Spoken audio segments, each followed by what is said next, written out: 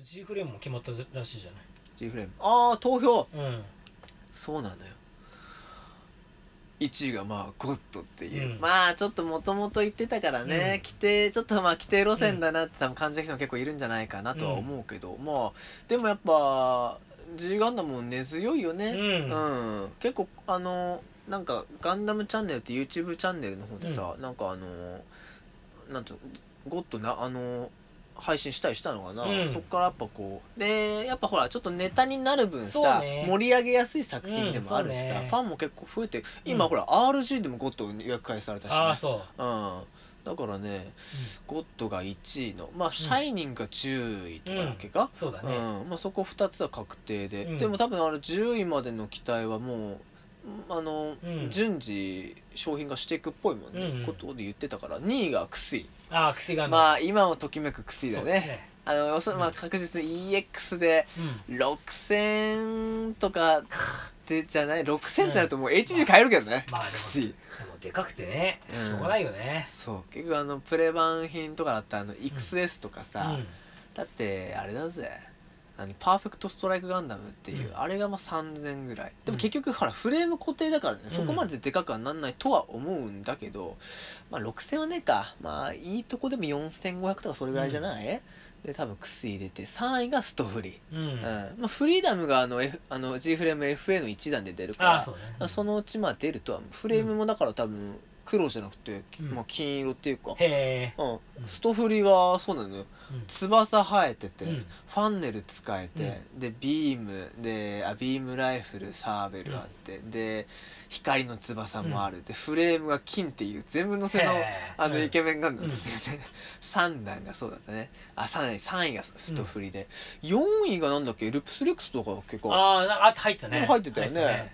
でやっぱルプスレックスコンバージのにあのー立えっと立体化投票で1位だったし、人気あるんだよね、ルうん。やっぱなんだかんだ渋い人なんかやっぱ俺はレックスよりもルプスの方が好きみたいな人いるけどね。でもやっぱあのああいうのにやっぱ乗るのってルプスレックスまなんだよね。あそうだろうね。うん。かっこいいよねそう多分改造してほら、うん。ととそこら辺のリード線買ってくればさ、うんそうね。尻尾伸ばした分できるとかさ、確かに確かに。あれはまあうん。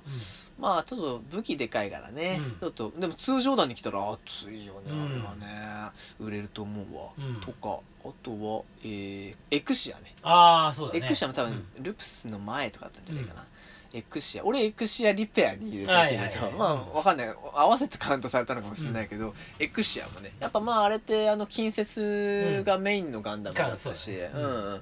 でもあの WO もそのうちまあ来ればね、だうん。絶対入るよねっていう感じ。あとは、えーゼロのエンドレスワルツ版あまあゼロカスタムだ、うんゼロカス。うんゼロカス羽でかいけどワンチャン通常弾にいけんじゃない？ああそういうこと？サーベル細いしライフルもほら薄いからさ、ワンチャンあれ EX じゃなくてもいい気するねあーなるほどね。うん、そうなると結構楽しいかなとか思うし、他で言うと、えーフルアーマーガンダム、うん。サンダーボルト版だ、うん。俺もねうん EX だあれは間違いなくうん。EX だけど、やっぱフルアーマーだから、うん。本当にもともとのフルアーマーは言うてそんな本当に走行が熱いみたいなさ、うん。感じだったけどあれはまあアームが伸びて4本あって、うん。よ縦が4枚あってみたいな感じだったから、ミリタリー感って好きだな。そうね、うん。まあ確かに俺もそうなんだよ。サンダーボルト版のさフルアーマーさうん。入れようかと思ったのよ、うん。めちゃくちゃ好きだからただやっぱ通常弾に入ってて嬉しいのってちょっと考えてやったから、うん。エクシアリペアに入れたけど、うん。そうそう。でまあそれが9位ああとあれもあったね。あのプラモ京志郎カラーのフルアーマーがあったんじゃないあの青いやつ、ううん。んあれまあ一回フルアーマー出してるからそれいけると思うけど、うん。あとはまあ10 11位から30位だと、うーん15位とかが最高作だったね、ああいいよね。やっぱサンボルのあの機体ってやっぱ人気あんだねとか思ってね。うん、まあその2機ってちょっとねやっぱりうん、特殊だしあとやっぱミリタリー感強いしね。うん、やっぱ惹かれる人多いんだろうね、うん。きっとね。とかあとまあまあペまあ順当にペーネロペも入ってたりとか、あと何やったっけタか。ーン A ターン X ああ単影タン X もあったね、うん。そうだ単影なんか11位ぐらい結構高かった。高かったよね。あでもターン A はねああちょっといいな。ああそう。ターン X といいななるほど、ターンね、X20 位かな？うん。そうそう結構差ついてたねターン A とはやっぱね、うん。そうねターン A もいたし。あとやっぱでっかい機体として、まあ、ナイチンゲールとかあいたしうんうんうん。まあ確かに排入出たしいやそのうち出ると思うけどね、でもやっぱあれほらフレーム今のところ固定だからさ、うん。やっぱスケール全然やっぱちゃうわけよね、うん、うん、そうだね。でジオン系のフレーム使うにしたってナイチンゲールってちょっとあの、うん。フォルムがだいぶいびつだそうだしね。うん。専用フレームでなおかつちょっとデカめでくんじゃねえかなとか思ったりするけどね、そうそうそう。まあまあ全部で、えー票投票数2万8600とか。ね。俺そう1万のやつディアクティブモードストライクガンダム当たったからさ。そだ,、からまあ1万ちょっとだったのかなと思ったけど意外とね、三3分の一か。倍ぐらい、うんうん。三分の一だかそうそうそうそうあったりしてね、なかなか盛況だったねっていう、うん。まあああいうのああいう曲もまあいいよね。本当立体化企画みたいな、ううんん、うんうん。うん。自分のこうあれも反映されるし、うん。あとワンチャン狙えるしね、うんうん。しかも他の人がどういうものを考えてるかとかね。いいね確かに。そうそうそう、それもあ自分はこうだけど相手他の人どう思ってるのかなってすごく気になる、気になる。確かに。うん。確かにそうだね。そう。やっぱこうなのねっていうものもあれば、あそうくるんだうんみたいなものもあった逆にその裏切られた期待が裏切られた方があそっちもあるよねみたいなの方があるね。の方が楽しい。ある。予想通りだってさまあそうだろうねは退屈だよね、うん退屈。なそれこそちょっと今回のはああそうなんだって、うん。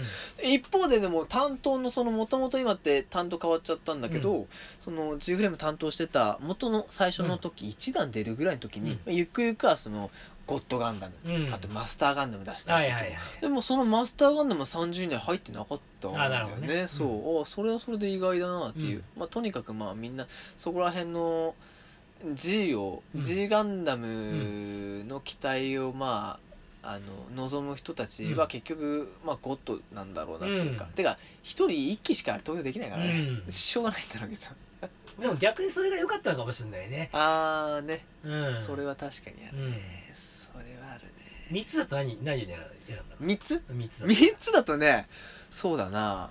EX 俺ね EX なんで俺3ボルやだやらなかったっていうとさ、EX 結局俺買わないんだよ、うん。食玩ってねうん。安いから買うじゃん、うん。でも高い金出してまでさ、はいはいはいはい。そういうことなんだ。って俺は思っちゃうんだ、唯一だからそのガチャだとかさ、うん。食玩系列で買ったのは、あのアンサンブルのやつ、うん。俺いくつ買ったことあって、あのうん。インレこの間のバカでかいの言ったじゃない？ね。あれインレのアンサンブルはあれ あれだよ。1万6000だよ。へえそんなするんだ。でもするだろうね。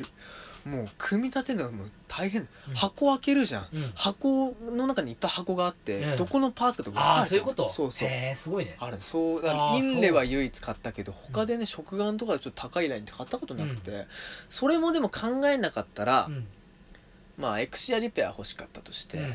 まあやっぱフルアーマーガンダムそのサンダーボルト版のああそっちか。やつも欲しかったしでもあとまあ無難にまあゼロカスカルプスレックスとか言うと思った。結局入ってんだよあのなんかうん。10位の中に入ってんだよ、うんでもまあやっぱり相違だよね。